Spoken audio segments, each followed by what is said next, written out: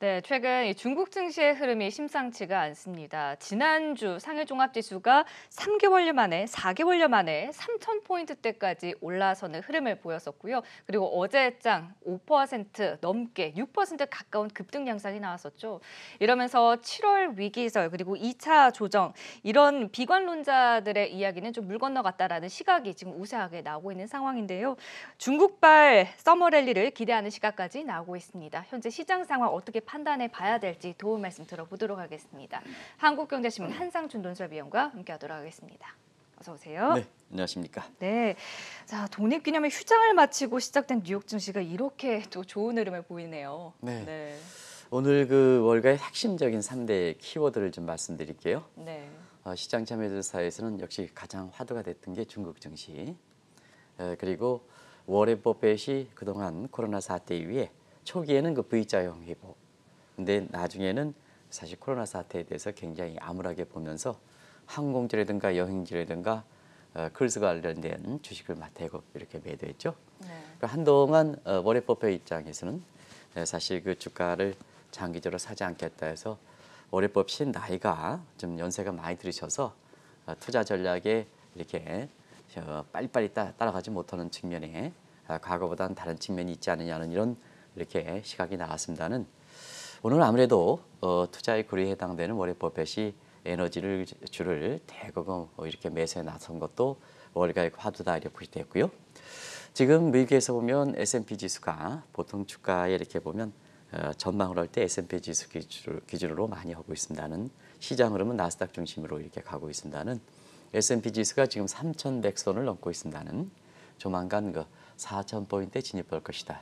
그리고 올해 그 가을에는 로켓 반등도 기대된다 하는 이런 쪽의 시리, 어, 시각이 나오면서 증시가 낙관적으로 돌았었던 것이 하나의 그 파도다 이렇게 됐습니다. 아무래도 이제 기폭제는 중국 증시로 얘기해야 될 것 같은데요. 우리도 이제 지난주에 이런 흐름이 좀 이렇게 감지가 돼서 어, 사실 중국 증시에 대해서 한 4개월 만에 진단 얘기였습니다는 그의 중국 증시가 여기 그래프에서 보는 것처럼 어, 한10% 정도 올랐었거든요. 아무래도 이 코로나의 그 발병 진원지 이렇게 최대 피해 지역이니까 이 코로나의 확진자 수에 대해서 정부의 통제에 들어가고 있다 하는 그런 측면에서 지금 3일 연속 중계 확진자 수가 한 자리대에 나오죠. 이건 사실상 WHO의 그 이렇게 바이러스와 관련된 이런 보고서 보면 어, 이대로 통계가 믿을 수 있다면 사실 이것은 완전히 그 코로나 사태가 극복됐다 하는 이 정도의 그 평가를 내리는 것 같습니다. 이것이 어제 그 중국 증시를 비롯해서 어, 아시아 증시를 비롯하고 유럽과 그다음 미국 증시까지 이렇게 올리는 배경이 됐다 이렇게 됐습니다. 또 하나 중국 관련돼서는 제2의 우한 폐렴 지역이 중국의 수도 베이징 문제였었죠. 이 문제도 완전히 지금은 통제 상태에 들어가는 걸로 이렇게 나오고요. 뭐니 뭐니 해도 어, 시진핑 이렇게 국가 주석이 사실상 어, 초기에 코로나 대응의 여러 가지 우여곡절 끝에 최근에는 코로나 확진자 수가 한 자리로 나옴에 따라서 이제는 경기다 하는 측면에서 추가 경기 부양이 중국 증시를 끌어올렸다 이렇게 됐습니다. 그러다 보니까 오늘 이렇게 경제 지표에 이렇게 많이들 관심이 되고 있습니다는 여기 그런 것보다도 세계 증시가 사실 그 코로나에 의해서 중국에 의해서 주가가 떨어진 상태에서 다시 중국에 이어서 주가를 그 복원시키지 않겠냐 하는 이 측면에서 중국 증시발 2차 랠리 가능성 이런 것이 월가에서 새로운 시각으로 대두되고 있다 이렇게 되고요. 이러다 보니까 자연스럽게 코로나 2차 대감염 문제, 그 다음에 이거에 따라서 2차 대폭락 문제, 어, 이거와 결부돼서 7월 위기설은 지금 월가에서 거의 거론되지 않고 있다. 그게 분위기다 하는 걸 말씀드리겠습니다. 네. 또 지난주에 이 시간을 통해서 중국 증시에 대해서 오랜만에 진단을 해주신 적이 있는데 현재 시각도 어떠신지요? 아무래도 이제 중국 증시 이렇게 보면은 뭐 어, 지난주에 했으니까 어, 현재 시각이 바뀔 게 없죠. 그 내용을 좀 반복해서 중국 증시가 최대 화두가 되고 있으니까 그 내용들을 다시 한번 오늘은 정리해서 드리겠습니다. 워낙 그 관심사에 핫 이렇게 지역으로 또 떠오르도록 했으니까 네. 역시 중국의 상징성입니다. 이 코로나 올해에서는 역시 세계 증시라든가 세계 경기가 코로나 경기에서 그 대변되거든요. 그런 측면에서 어, 상징성을 갖고 있는 어, 것이 중국이기 때문에 중국의 그 코로나에 대한 현재 위치를 이렇게 보면 알 수 있지 않냐 생각합니다. 그래서 앞서 그 말씀드린 대로 어, 코로나 확진자 수가 이렇게 한 자릿대 줄어들음에 따라서 어, 통계가 믿을 수 있으면 2차 대감염 문제는 이제는 사실상 물 건너간 게 아니냐 하는 이런 판단이 내릴 수가 있거든요. 그래서 하반기에 많은 사람들이 7월 그 어, 위기설, 그 다음에 2차 대감염, 또 최근에 있어서는 어, 미개 독립 기- 기념일 그 이렇게 전후에서 어, 코로나 화- 확진자 수가 5만 명 이렇게 돌파함에 따라서 이 문제에 대해서 가장 관심이 있었는데요. 어, 발병의 진원지에서 한 자릿대로 축소되다 보니까 예, 결과적으로 2차 대감염 문제에 대한 어떤 악화 일로 이런 가능성에 대해서 상당 부분 안도하는 분위기가 이렇게 형성된 것이 아닌가 이렇게 보고 있습니다. 그래서 어, 지난주에 어, 상해 지수가 3천 포인트에 도달할 때 우리가 이 방송을 통해서도 어, 미개 주가는 좀 많이 올랐다. 미개 이제 나스닥 지수가 연일 사상 최고치다, 3일 연속 사상 최고다. 승률적인 측면에서는 그렇게 높진 않거든요. 어제 같은 경우에도 중국 증시가 5, 6% 가깝게 올랐는데 나스닥 지수는 3일 연속 어, 연, 상승세를 이어갑니다는 사실 그 상승폭으로 볼 때는 2% 이내거든요. 베이스 이펙 때문에 그렇죠. 왜냐하면 어, 지금까지 그 중국 증시 같은 경우에는 어, 3월 23일 날 2,666 어, 상해 지수 대비해서 어, 지금까지 한 20% 정도 이렇게 올랐는데요. 미국과 한국 주식이 어, 50%가 넘고 있는 상태거든요. 어, 3월 중순 대비해서 그러다 보니까 세계 증시에서 이렇게 보면 어, 저가 매릿이 발생하는 거죠. 그리고 또 한 가지는 개인 투자자 입장에서 이렇게 보면 어, 변동성이 이렇게 확대되면 안 되겠죠. 스트레스가 많기 때문에. 근데 가장 안정적인 흐름을 보이는 것이 중국 증시다 이렇게 보됐습니다. 그래서 두 가지 하나는 중계 상승폭이 상대적으로 적고 한국과 미국에 비해서 절반 폭에 해당되고 그래서 차리 피킹 매력이 아직도 있고 저평가 매력이죠. 그 다음에 개인 투자 입장에서 어, 사실 투자하기가 좋고 스트레스가 적은 어, 변동성이 적다는 측면 이것이 매력이 돼서 어, 중국 증시가 이렇게 강하게 오른다 이렇게 보시면 되고요. 어, 세계 자금 흐름 보면 확실히 네. 에, 미국에서 중국으로 개인 투자가 자금 예를 들어서 미국의 로빈 후드라든가 한국의 동학 개미들도 해외 투자 나서면서 중국 주식을 좀 많이 매입하고 있습니다. 그리고 일본의 그 어, 닌자 개미들도 어, 사실 중국의 증시에 대해서 개인 투자 자금이 많이 들어가는 것이 어, 지금의 모습이다 이렇게 됐고요. 기관 투자는 어떠냐 하면 네. 기관 투자가들은 지금 사실상 뭐 우리나라에서 라임이라든가 뭔가 각종 펀드들이 나오고 이것이 어, 사실상 국내의 그잘 펀드라든가 잘 관리하는 것도 사실 그 나쁜 효과를 주기 때문에 전반적 기관 투자가들은 마진콜이든가 이런 측면에 걸리는 상황이 많거든요. 그러다 보니까 사실 그 어, 이렇게 어, 주식에 보유하는 주식도 파는 이런 위치이기 때문에 지금 유망한 투자 수단이 보인다 하더라도 거기에 자금을 넣을 수 있는 이러한 상황이 아니다. 그래서 세계 증시는 지금 한계 동학개미만 문제가 되는 게 아니라 전 세계적으로 개인 투자가 비중이 높아지고 그것이 어, 그 나라의 대표 지수를 좌우할 정도로 이렇게 어, 되는 상황이 지금이다. 올해 증시에서 하나의 특징이다 하는 것을 말씀드리겠습니다. 네. 사실 중국은 이 코로나 발병지이자 또 피해가 최대였던 지역이 아닙니까? 네 그렇습니다.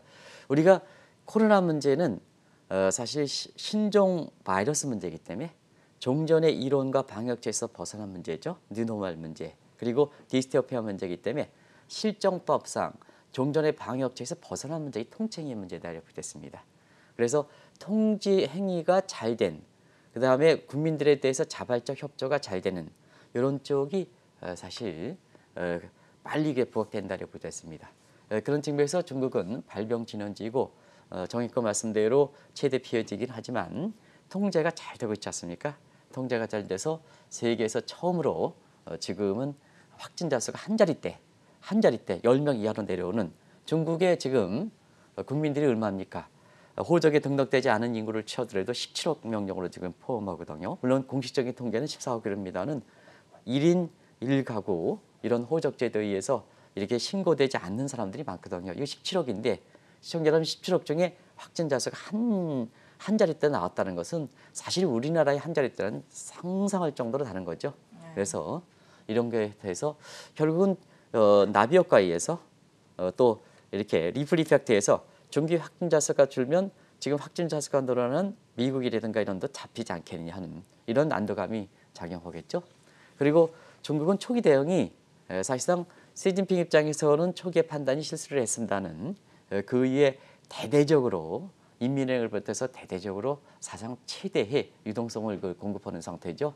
그래서 지금은 유동성 공급에 이어서 시진핑 어, 정부가 재정 정책 측면에서 인프라라든가 뭔가 이런 측에서 뉴딜 정책을 강구하다 보니까 이 정책적으로도 통합 완화 정책에 이어서 경기를 부양시키는 인프라 정책이 순서가 잘 맞고 있다는 얘기입니다. 저 미국도 지금 그렇지 않습니까? 미국도 페드에 지금 양적 완화 정책을 통해서 지금 트럼프 정부가 대선을 앞두고 미국도 어, 사실 그 트럼프 노믹스는 인프라 확충 계획이 들어가는 거죠. 거의 이제 맞아떨어지는 거죠. 그렇게 순서를 가는 거죠. 이렇게 이제 보시면 되겠습니다. 어, 그리고 이러한 그 초기 대응의 문제, 저 초기 대응 문제, 유동성 문제, 재정 부양이다 보니 경기 회복이 빨리 되는 거죠. 경기 회복이.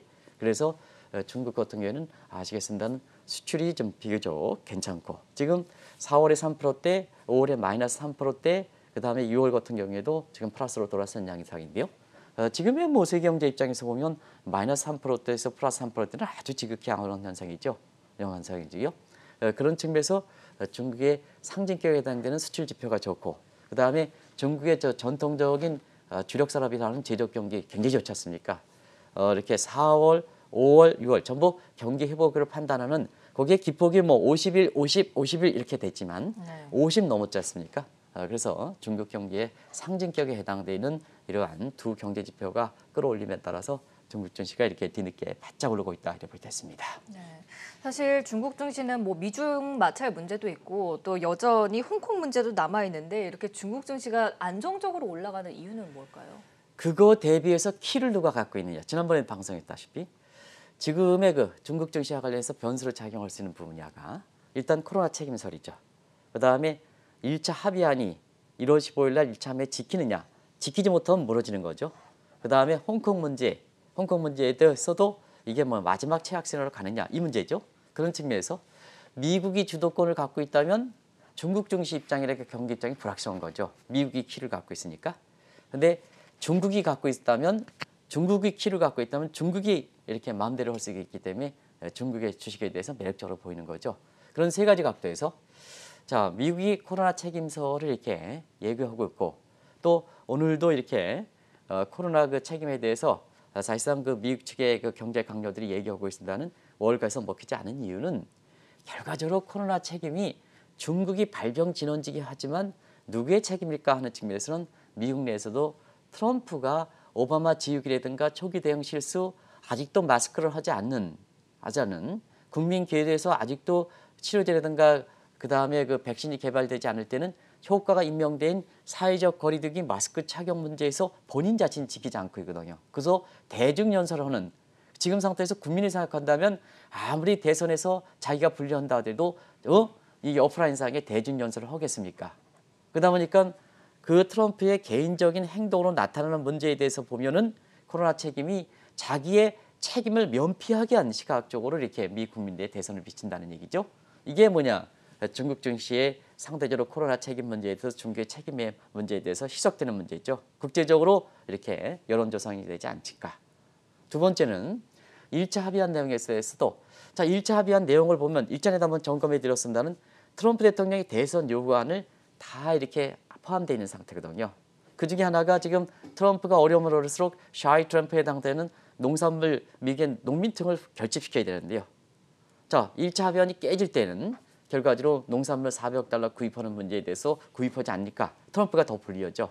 그러다 보니까 미국이 이렇게 최악의 상황을 가지 않는 한 중국 입장이 1차 합의안을 지키는지 아니냐 이 문제에 대해서 중국이 키를 갖고 있다는 얘기죠. 그 다음에 홍콩의 그 만지와 관련해서 달러 폐기제 문제, 포기 문제가 가장 마지막 사항인데요. 일부에서는 뭐 홍콩 시민도 나가고 자금도 나가고 이런 어, 소위 그 어, 베네수엘라 이런 문제에 대고 얘기했습니다는 가장 문제가 달러 폐기제 포기하는 문제죠.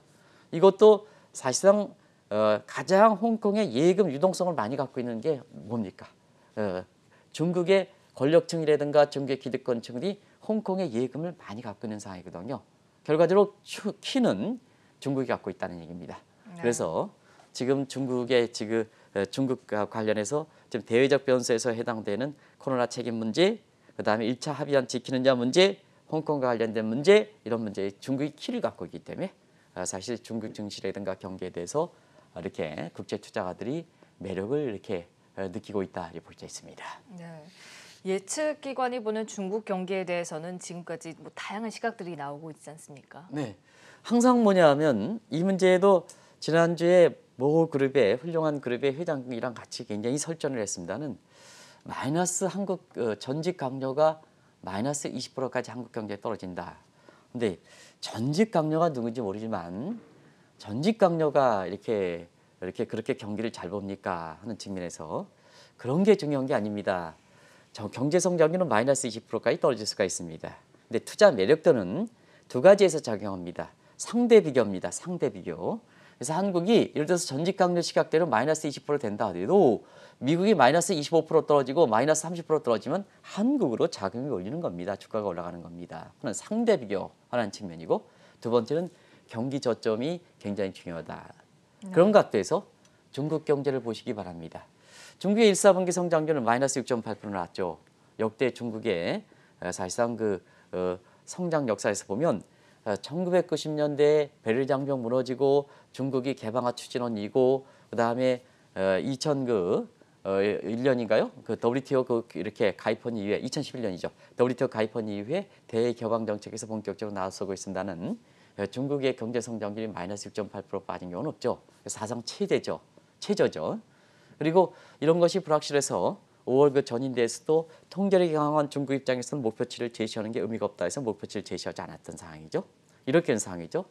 어, 그리고 IMF의 이렇게 전망을 보면 올해 1%까지 떨어지겠다 이렇게 아무러지만 왜 중국 증시가 올라가느냐 하면 앞서 같은 두 가지 관점에서 일단은 중국의 성장률 1%는 다른 국가에 비해서는 플러스 성장률 유지하는 유일한 국가죠. 두 번째는 경기 순환적인 측면에서 지금 뭐냐 월가에서 나오고 있습니다는 네. 지금의 이렇게 중국의 수출과 관련된 지표, 그 다음에 제조업과 관련된 지표, 그 다음에 각종 소비와 소비와 관련된 지표를 이렇게 볼 때는 당초에는 2분기가 경기 저점으로 될 거로 이렇게 봤습니다는 사실 2분기는 지금 이달 중순에 2분기의 성장률 이렇게 발표될 거로 이렇게 봅니다는 2분기 성장률 내용이 1분기보다는 좀 이렇게 높게 나오지 않겠느냐. 지금 예상이 1분기가 마이너스 6.8%입니다는 2분기에는 대체로면 그보다 높은 마이너스 한 3% 내외를 이렇게 보고 있는 것 같습니다. 그러다 보니까 이미 저점이 통과했지 않느냐. 그러면 앞서 말씀드린 것 같이 코로나의 발병진에서 저점이 통과하니까 다른 국가들도 순차적으로 순차적으로 경기의 그 저점이 통과하지 않겠느냐 하는 시각. 이런 것이 이제 세계 증시를 좀 안도적으로 하는 문제고요. 그 다음에 지난 5월 그 이렇게 초에 모건스테이든가 골드만삭스가 예, 경기 저점 얘기하면서 중국은 이미 2월 달에 경기 저점이 통과했습니다 하는 말을 했죠. 그 다음에 유럽은 이미 4월 달에 월별 지표는 통과했습니다. 미국은 5, 4월 말에 통과했습니다. 이런 건데요. 지금의 경제 지표가 확인되는 걸 보면 경우에 따라서는 올해 2월 달에 골드만삭스라든가 모건스탠리가 경기 저점으로 했던 중계 경기 저점이 확인되고 있다 하는 이런 얘기거든요. 그런 것이 어, 중국 증시를 뒤늦게 되면서 이것이 기폭자가 돼서 어제 한국 코스피 지수도 여러 가지 어려운 가운데 어, 사실은 뭐냐 우리 코스피 지수 30포인트 돼서 이제는 2200까지 다가서는 모습이거든요. 이건 코로나 사태 이전보다 더 높은 수준입니다. 더 높은 수준. 그러면 이런 분은 얘기하는 것 같아요. 자, 지금의 코로나 문제가 극복되지 않았는데 왜 코스피 지수 2200까지 다갈까? 그럼 이거 거품이지 않느냐? 그런 얘기를 하는데요. 자, 우리가 이제 사실 지- 지난번에 그 회장님과 얘기할 때도 네. 왜 경기라든가 그다음에 기업들의 실적만 어려운 것만 생각합니까? 투자라는 것은 여러 다양한 요소가 있을 때 경기라든가 기업 실적을 이렇게 안 좋으면 안 좋을수록 그 극복하기 위해서 돈을 풀지 않습니까? 이거는 기회은이지 않습니까? 왜 경기라든가 기업들의 실적이 얽매여서 그것만 가지고 한국 경제 성장률이 마이너스 20%만 생각하십니까?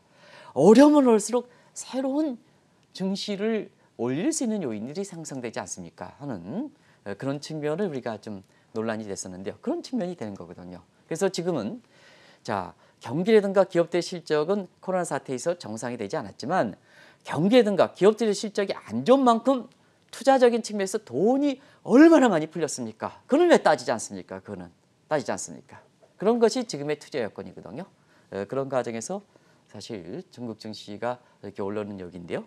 아무튼 간에 이런 각도에서 어, 올해 이달 한 중순경에 발표하는 중개국가 통계에서 발표하는 2분기의 성장률 결과치가 만약에 1분기에 마이너스 6.8%보다 높게 나온다면 월별 지표에서 올해 2월, 그다음에 분기별 지표에서 올해 1분기가 경기 저점이 되지 않겠냐 하는 것이 확인되지 않겠느냐 해서 2분기의 성장률이 중국 증시의 반등과 함께 이렇게 월가에서도 주목되고 있다 이렇게 있습니다. 네. 세계 증시가 오르는 데는 분명 중국 증시의 힘도 있겠지만 또 미국 쪽의 지표 호조세도 있지 않겠습니까? 근데 이 지표도 이제 우리가 지난주 어, 초에 어, 7월 초에 이렇게 할 때는 7월에 7월 위기설과 그 다음에 사실상 2차 폭락 얘기가 있으니까 이 배경이 뭘까 하는 측면에서는 올해 그 3월 달에 주가가 1000포인트 밑으로 떠진다는 이런 이렇게 사람들이 있었죠. 근데 주가가 거의 50% 이상 올랐죠.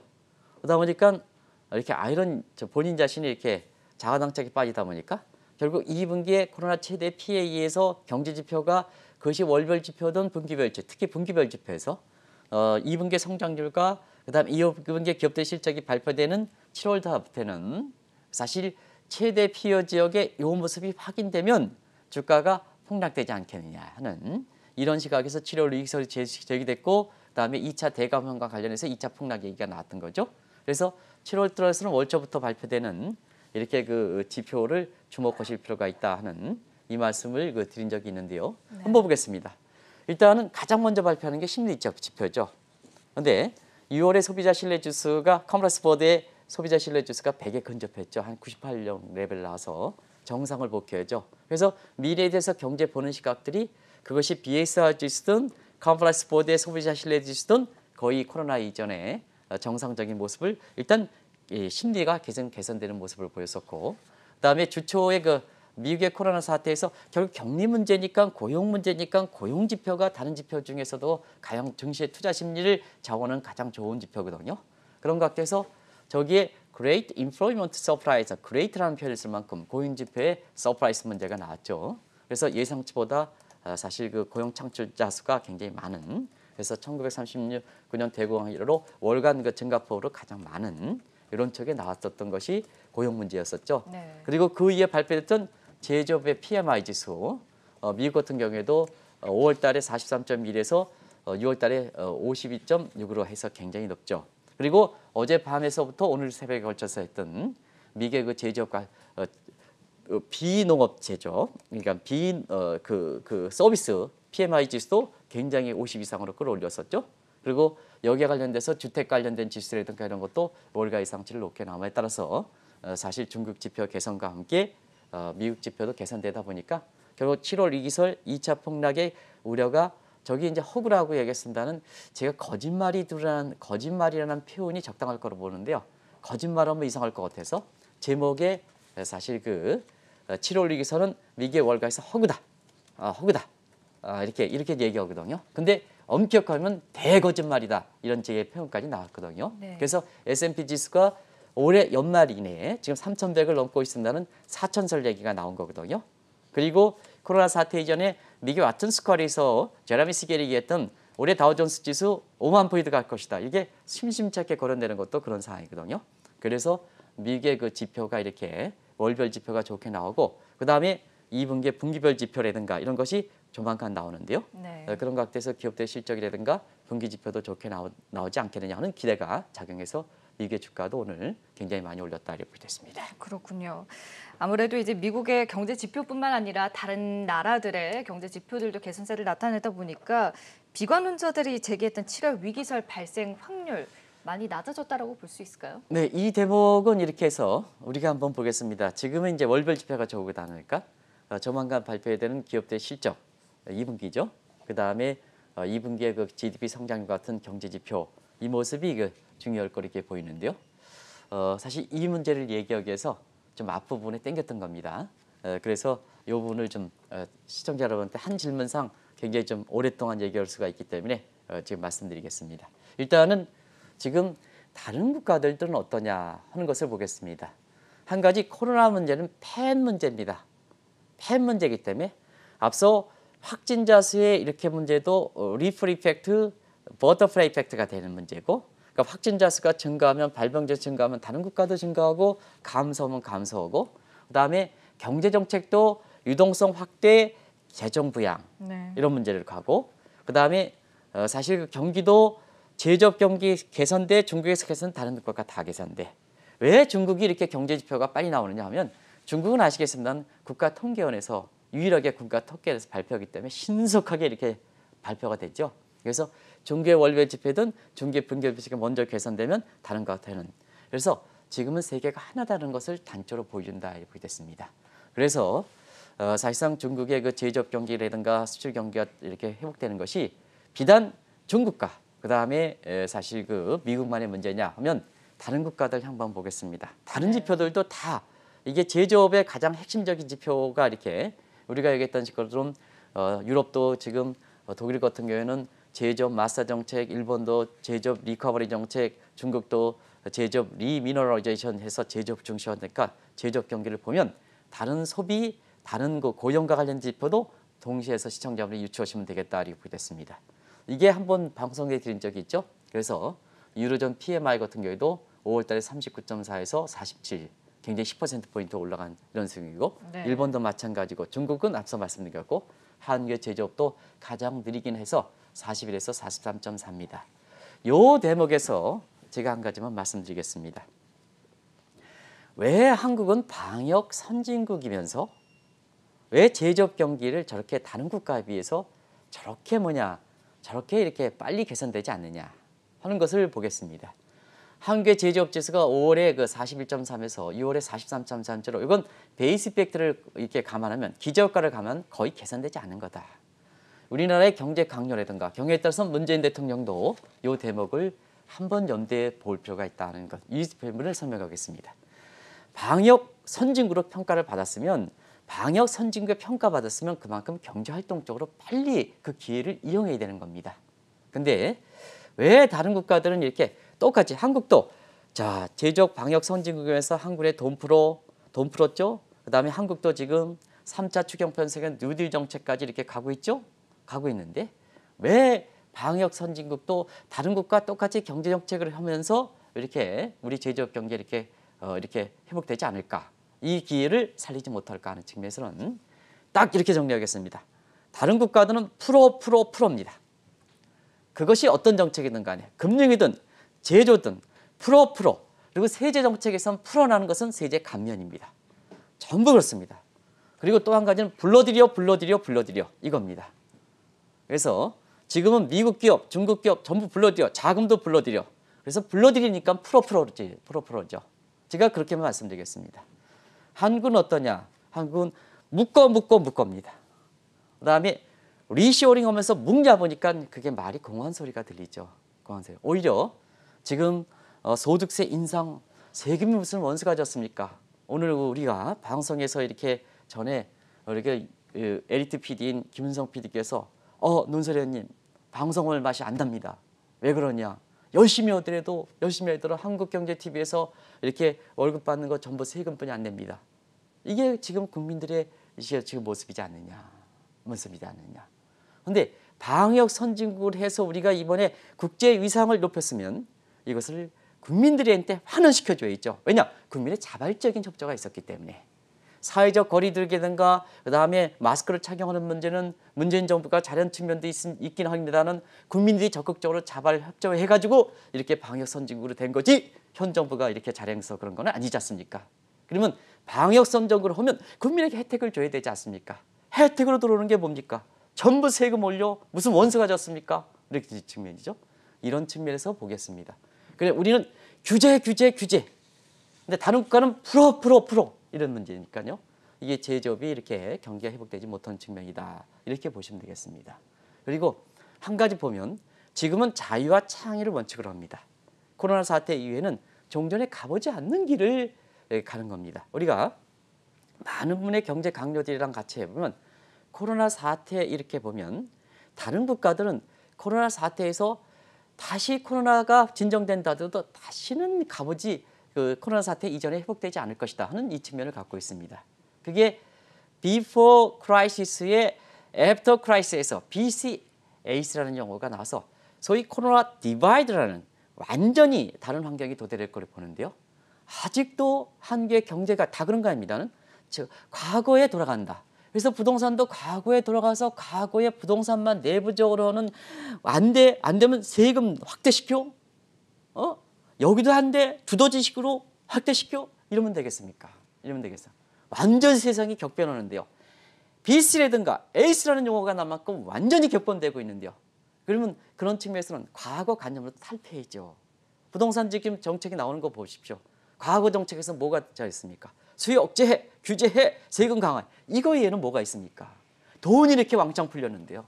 돈줄을 좀 증시로 좀 틀어준다든가 하는데 증시 쪽도 막아 어떻게 막아 거래세도 어 인하하게 하지만 어 주식 양도 차익돼 그럼 돈은 어디 가겠습니까?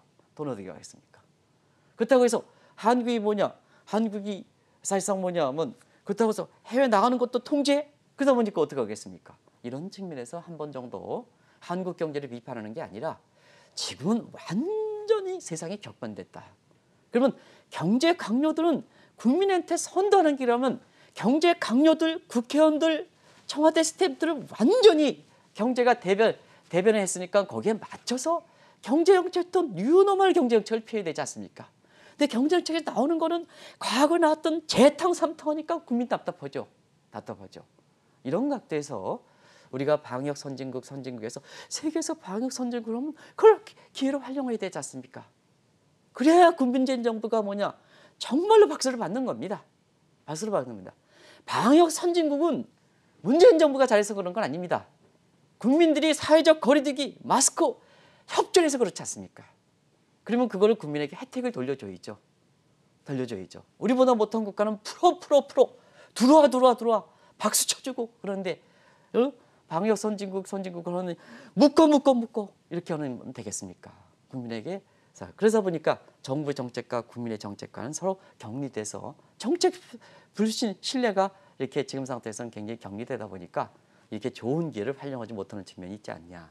많은 부분에 생각할 대목이 있기 때문에 이 대목은 한 번 정도는 좀 시청자분이랑 같이 협의해서 이 질문에 대해서 좀 오랫동안 말씀드렸다 하는 걸 어, 네, 혹시나 시청자분한테 소위 제가 말씀드린 성에 어, 이렇게 감정이 삭갔다면 양해를 부탁드리겠습니다. 그러나 지금 세계적 질서 볼 때는 그건 소신입니다.